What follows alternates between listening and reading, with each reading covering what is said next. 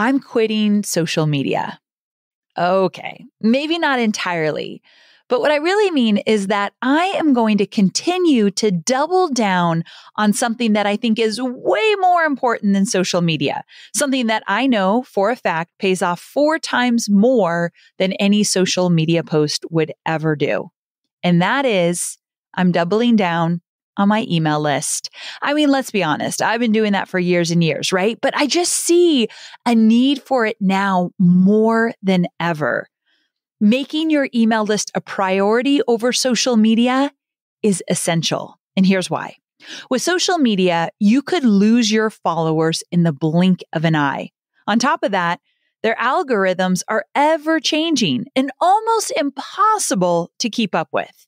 So when it comes to scaling a business, an engaged email list is the most reliable way to do so. Now, I don't say that lightly because I know that it can be frustrating growing an email list. It takes time. And yes, at times it feels very slow, but I've got your back. With years of experience growing my engaged email list, I've learned a thing or two about how to overcome these frustrations, and I've decided to reveal them to you in my free masterclass Why Growing Your Email List Feels So Dang Hard and What to Do Instead. So, in this class, here's what you'll learn my simple five minute, you now have content for 60 days strategy, and how to create lead magnets that make your audience say, This is exactly what I need.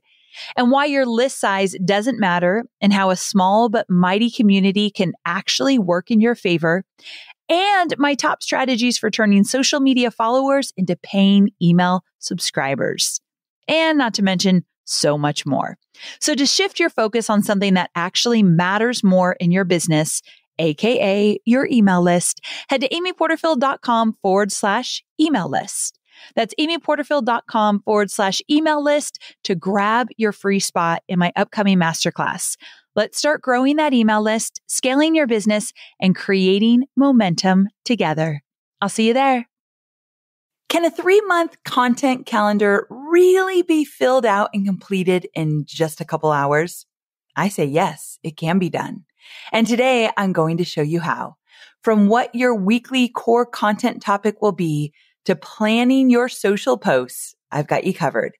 This is a jam packed episode and is perfect for the newbie entrepreneur or the seasoned one who will still spend far too much time planning out that calendar or anyone who feels stressed each week trying to come up with ideas. I poured my heart and soul into creating this episode to make sure it was simple, step by step, and would save you time, headaches, and frustrations, not to mention get you a little extra time back doing what you love and spending time with people who matter most. So if you're ready to have your next three months of content planned out, including the content you release each week, aka your core content and your social media posts, I've got you covered.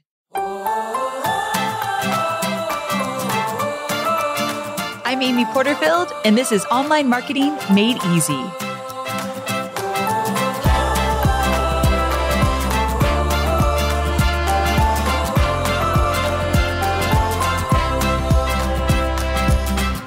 Dear listener, this episode is about to change your life.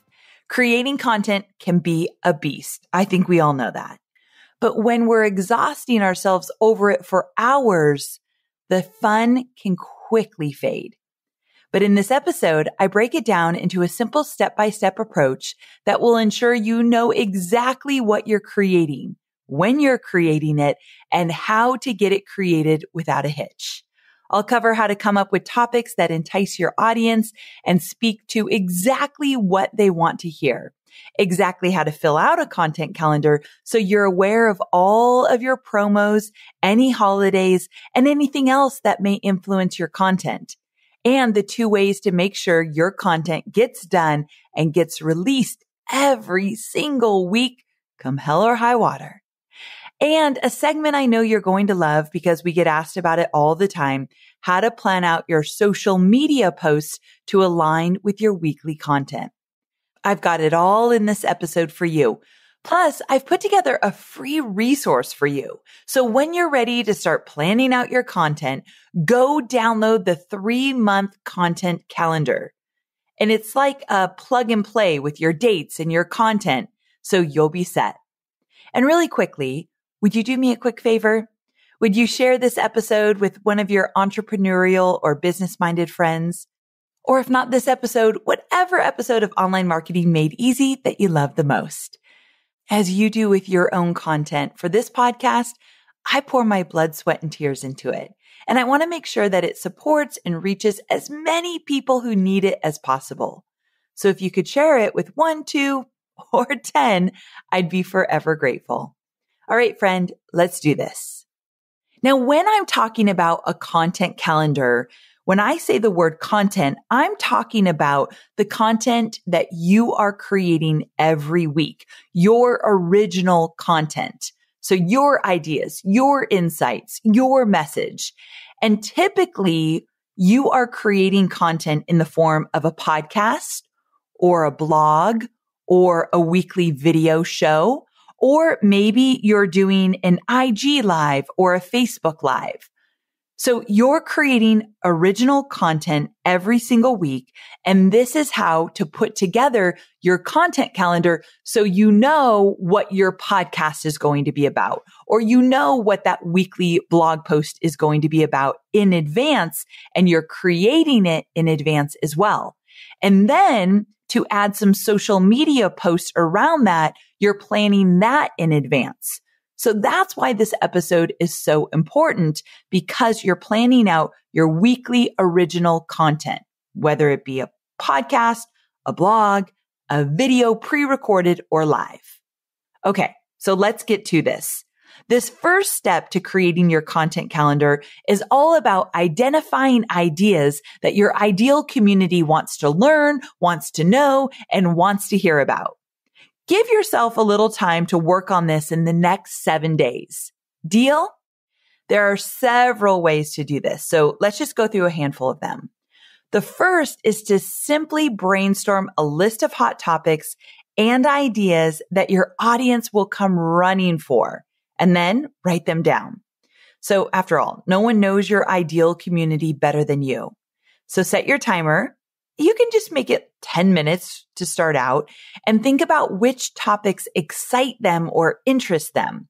What do they want or need? And how are you their solution?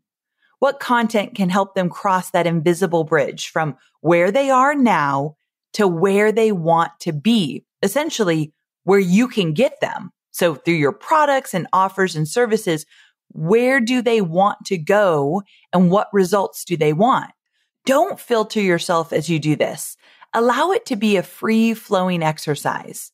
Also, if you're anything like me, you already have like a notes app on your phone full of ideas that you've, you know, added here and there when you come up with them. So if you've got notes somewhere, go grab those. Take time to transfer those ideas to paper. In fact, those ideas may prompt new ones.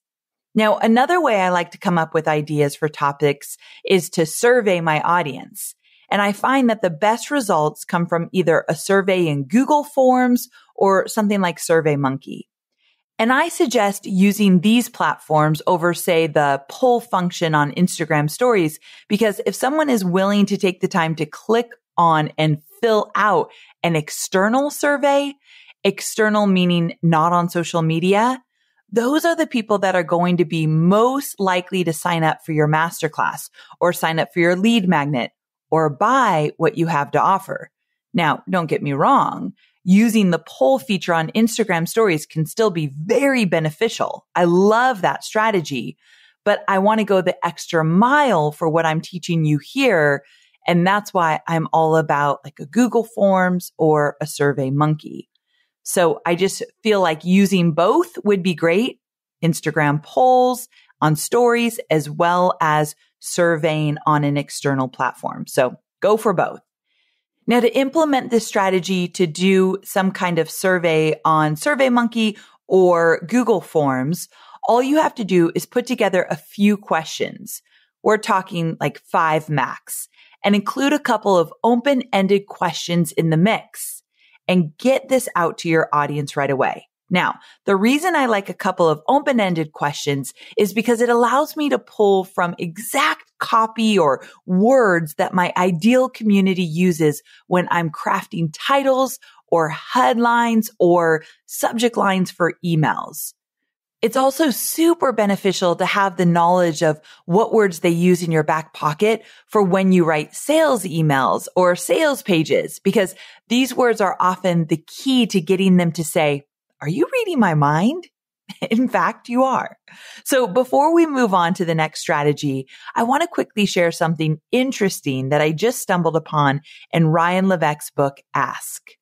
And that's that you don't need to give your audience an incentive, something like a lead magnet or a gift card to take the survey. The incentive should be that this is going to give you insight to serve them better and get them content that is exactly what they want. So in the past, we have incentivized people to fill out surveys and Ryan is saying that's absolutely not necessary. So if you don't have the time and space to create some kind of freebie to give them if they fill out the survey, don't worry about it. You can still get wonderful feedback from the survey. Now you may be thinking that you don't yet have a big enough audience that's going to get enough responses from a survey. And no worries. There are other things you can do beyond the survey. So first, you can simply go to someone else's blog or Facebook page or Instagram page that's in the same field as you that has a larger following and take note of what's resonating with their audience. I'm not saying you want to copy what they're doing, but the ideas and topics that their audience is talking about can inspire you to create something with your own twist. And remember, no one teaches what you teach like you do. So keep that in mind and don't let imposter syndrome get the best of you. And if you have a small audience, you can do a little research through your interaction with them. A few places to look include your own social media posts. What questions are being asked by your audience? What content is resonating with them the most? And if you're receiving any DMs, what are they asking about? Also, what are they emailing you about? Again, pay attention to the words that they're using. You'll also want to set themes at this time. So setting themes really helps you to narrow down and decide on topics that would entice your audience. So if you need a little help, all you need to do is Google universal holidays. Take a look at all of the holidays that pop up. Holidays in the US, if that's where you're based, but holidays outside of the US as well. That will allow you to be more diverse. Now, using those holidays or just themes in general that pop up for you will help guide your content and make it easy to come up with topic ideas. You can even look for fun holidays or as my social media manager calls them, hashtag holidays.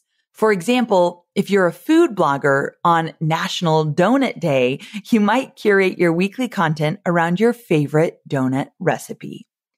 Okay. So once you have all the holidays and the themes or fun national days written down, do another brain dump. How can you use this information to plan your content? And another way to come up with topic ideas is to revisit old content that you've posted that's done well in the past. Now set your timer for 20 minutes here. Head back into your weekly content. Heck, even your social media posts. What resonated and got a lot of engagement? And look at your comments. What was shared in the most popular social media posts that you've done? Choose a topic or two that you can expand on and shed new light on or dive deeper or put a different spin on it. This episode is actually an example of this. I did an episode around this topic three years ago and it was a hot episode but I knew that I had some new ideas around planning out a content calendar and I could expand on that idea. So we revamped it and put a new spin on it. Now, the last episode we did three years ago was mainly about how to come up with topics to fill your content calendar. This one is taking it a step further and talking you through how to fill out your calendar efficiently, plus how to plan out your social posts that align with your weekly content. Because you all have asked me questions about that. So I pay close attention to what you all ask in my Facebook groups, in my social media posts. And then we came up with this idea because of you. So thank you. So this episode is more in depth. This is just a reminder that you don't always have to reinvent the wheel or start from scratch. And you can get inspiration from others in your industry and from revamping and expanding on your own content. If you always feel like you have to create something new or talk about something new, you're going to run out of ideas fast. So I want you to toss that thought to the curb and reframe how you think about content creation. All right. The next portion of content calendar planning should really only take 30 to 45 minutes. So set your timer and let's go. At this stage, you're going to start to fill out your calendar. So be sure you have all those awesome topic ideas that you just came up with from the other exercises we did, along with important dates, and let's get to work. You can either create your own calendar or if you'd like, head to the free resource with this episode because I made a content calendar for you that you can just plug and play. You can find that link in the description wherever you're listening or go back to my show notes at amyporterfield.com forward slash 409. So first things first, put in the dates of the upcoming three months. If you're using the content calendar I've provided for you, you'll start with month one and fill out the dates for each week. Now let's fill out important dates. So that's everything from your promotions to your pre-launch dates to holidays to themes and anything else you might be celebrating within those three months. If you're using the content calendar I provided, you'll see the section underneath each weekly dates where you can add themes, holidays, or promos. So fill that out for each month. Now, it's crucial that you put your promo dates in at this time because this is going to guide a ton of your content. For example, if I'm leading up to a promotion, I'll do what is called a 30 day pre-launch runway in the 30 days before my cart opens, so before enrollment opens in one of my courses, my theme is related to the course I'm going to sell. So when I'm leading up to the enrollment period for Digital Course Academy, the 30 days leading up to that are all focused on course creation and launching a course. So that's the theme that I'll use. So any podcasts that fall within that timeline, you bet are going to align with the course I plan to sell. So today my pre-launch runway is a lot more complex than it used to be. So we have themes like setting habits or list building or creating more freedom.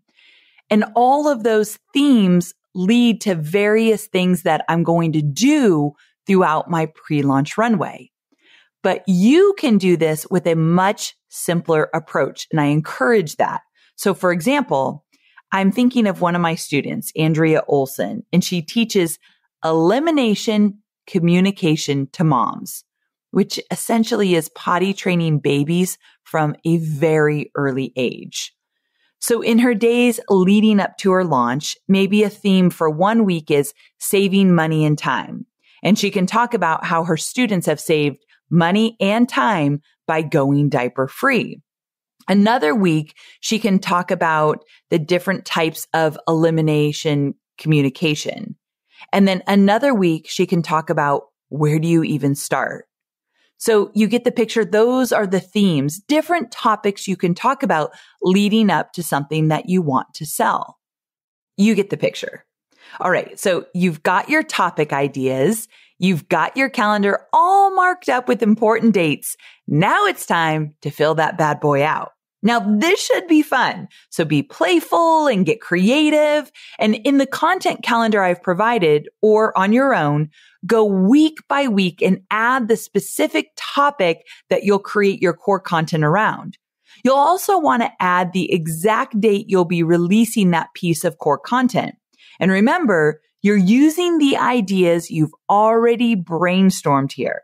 So for example, we always drop a podcast episode every Thursday, with the exception of a few holidays where we release it on a Wednesday. So I know that unless there is a holiday that may shift the date slightly, I'm going to put in the date for every Thursday with a podcast.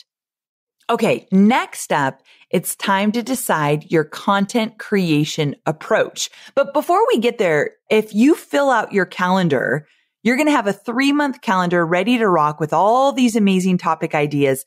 Take a moment to celebrate at that point because that's a really big task that you just knocked out. So make sure to celebrate because you deserve it. You actually just did the hardest part. Now, once you do that, you're moving on to your content creation approach. Now, if you know me, you know I love nothing more than a good batching session. This is definitely my preferred way of creating my content because I don't have to worry about something unexpectedly coming up and then screwing up my schedule to record a weekly podcast. If I've batched, then it's already been done. I don't need to worry about it. So for me, batching allows me to be more focused when I'm working on the content and at ease when I'm not. So if you want to know more about mega batching, check out episode number 182. However, I will say that while the content is still good, we will probably do an updated episode on batching as my process has changed a bit over the years. But for now, episode 182. Batching looks a little different for me as my business has grown, but for a long time, it would look like me sitting down to bust out six weeks of podcast content at one time. Nowadays, I record within a couple of weeks span, but my podcast team still batches show notes and newsletters and editing in six week increments. Now you decide what batching looks like for you and just ask yourself, can you commit to creating two weeks of content in one sitting or maybe four weeks of content in one sitting? If you choose to batch, get clear on exactly what that looks like for you. Now, if your schedule doesn't allow for hours of batching, maybe you're juggling parenthood and a nine to five job and you're still trying to grow your side hustle and that means that you're not going to sit down for hours and hours and put together six weeks of content. So maybe you do only one or two weeks ahead. Just start wherever you're at. I'd at least try to work one week ahead. So you'd be creating next week's weekly content and all the assets you need for it the week before it actually goes live. So both approaches work. I personally think batching is safer but do what you can do right now and take the time to decide what approach and then make sure you schedule it into your calendar. I recommend making it the same day or days and time each week. So maybe you always batch the last week of the month for the month ahead. Or maybe every Tuesday morning for two hours, you work on next week's core content. So go ahead, decide right now, make that declaration of what you're going to do and commit to it. In fact, if you can, go ahead and say it out loud. What are you going to do? Well, well, well, look at you. You are crushing this content calendar thing. Now for the moment that I think you've been waiting for. You might not know you've been waiting for it, but you have because I can't even tell you the amount of times people ask how to plan social media posts while planning out your content calendar. Now to help me, I've actually reached out to my social media manager, Stacy, to see how she schedules this out. And what I'm about to share with you is actually a really simple way to do this. So since you already have your core content topics all planned out and in your calendar, you'll need to set aside a little time each week or when you're batching to plan out your social posts. So for starters, decide where you're going to share your social posts. Maybe Instagram, Facebook, Twitter, LinkedIn. It's okay to have multiple, but it's also okay to just focus on one or two platforms, especially if you're just starting out. And yes, you can post the same thing to multiple platforms if you need. Ideally, it's good to change up the text to align with the specific social platform, but if you're strapped for time, that isn't a must. In the content calendar that goes along with this episode, you'll see where you can add what social platform or platforms this post will be going to. I have three social media post boxes in the calendar that I've provided for you. As I think you should at least aim for posting a minimum of three to five times per week. But if you can post daily, that's great too. From there, it's time to assign content pillars. For the sake of today's podcast episode, I'm going to tell you what our pillars are for all seven days. But take what you need and leave what you don't for you and your own business. Also, I'm mainly focusing on Instagram because that's where most of our audience hangs out, but you know where your audience is, so plan accordingly to that. When I say content pillars, this is what I mean. On Mondays, I post a Reels video. Tuesday, I share an infographic. Wednesday, always something lifestyle or personal. Thursday is when my core content is released, my podcast. And so my social posts are always about the podcast. And then Friday, I share a quote graphic. And then Saturday and Sunday, I share something personal. Now, this does change when we have a promotion or when we're in pre-launch, but during a regular week, these are my content pillars. And if you haven't guessed this yet, we actually use our weekly core content, so the topic from our podcast, to inspire most of those posts, which is exactly what I want you to do as well. So I want to repeat that. I've got a weekly podcast. And so I actually plan my weekly content around the topic of my podcast. So here's a real life example. We did a podcast episode on habits in early August. So that week I had a reels video about the habits I swear by, an infographic about the morning routine do's and don'ts. I pulled a quote directly from my podcast episode. And then I also did an audio clip from that episode. A really easy way to create an audio clip for social media is through a platform called Wavve, W-A-V-V-E. I'll link to it in my show notes. I also shared a couple of behind the scenes personal type stuff that that week about habits. This was also during our pre-launch runway. So I was posting other things too. So if you go back and look, you'll see that because the core pillars were still met. Also, make sure your social calendar aligns with your promo calendar if you have one. So if you don't, just double check to make sure that when you're promoting something, you're planning that into your social media content as well. But if you did the last steps where you filled out your calendar, you'll be able to see when you're promoting something. So that'll be easy to craft social media content around it. All you have left to do is create your weekly content and then write your social media posts too. Next up, I'll walk you through how to utilize the free three month calendar that I've provided for you in the show notes.